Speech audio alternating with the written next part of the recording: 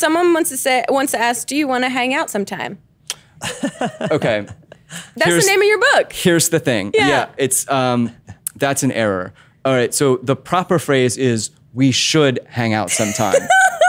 because and yeah, so that's my first book. Yeah. Thank you. I'll just plug my books. Plug, plug, thank plug, you. plug. Yeah, so my, my, my book that came out last year is We Should Hang Out Sometime. Yeah. It's about like my dating disasters as a teenager. My next book comes out in January. I told you about it. It's Yeah. called Love and First Sight. Love and First Sight. And it's my first like work of fiction. Yeah, I love that. Yeah, I'm really, really excited about that. So bookstores January 3rd. nice. Yeah. Um, but anyway, uh, so we should hang out sometime is superior because they said, do you want to hang out sometime? Yeah. And the whole point of the, the line, pickup line, we should hang out sometime, which uh, I started using like when I was allowed to date when I was 16, Uh-huh. was that it was unrejectable because it's not a question. It's an Oh. opinion. There was some uh, pretty extreme things. Uh, but I, actually, like my favorite thing was that we had actual wedding crashers.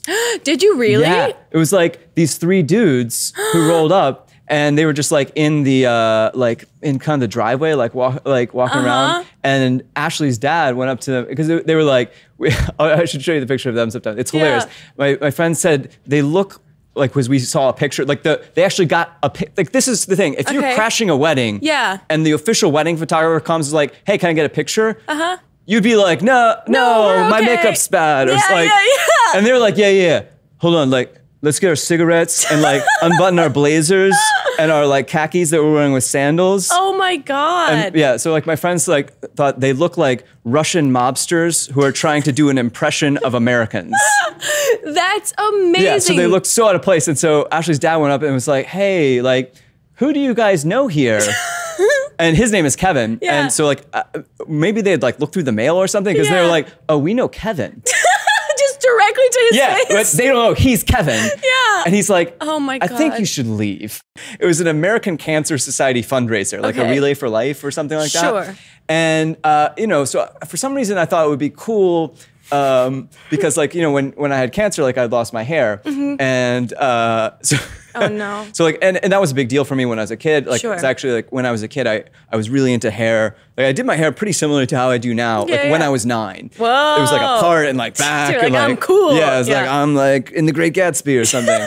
and uh, and then I lost my hair and it was uh, like I was re- really bummed about it. And then like 18 of my friends shaved their heads for me. oh, like in solidarity kind yeah, like they all came over to my house and like all, like we have this amazing Wow. picture. Like all everyone's just like bald. Amazing. Um, and so and yeah, and so and then in my like my speech, I was like, but what would make that story better? Oh, I know. What if I was wearing a bald head wig Oh my god. during the whole speech? You showed up wearing a ball cap. Yes, yes. To oh my god. to an American Cancer oh Society oh my fundraiser. God. What did So they I give do? the whole speech wearing a bald head wig and talking about like losing my hair and how devastating it was. And then like for my climactic moment at the end of the No. speech, I was like, so you might be sitting there wondering like, Josh, like, why don't you have hair now? Like, why didn't you let your hair grow back? And then I was like, oh my I god. do have hair. Are, are you inspired? Are you not entertained? Oh my god.